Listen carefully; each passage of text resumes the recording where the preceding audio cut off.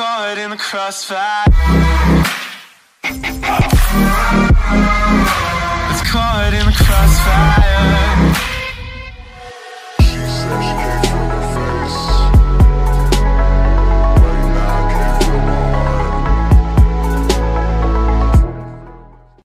Sebelum lanjut, ja- jangan lupa like, subscribe, dan bunyikan loncengnya. Oke, selamat menonton.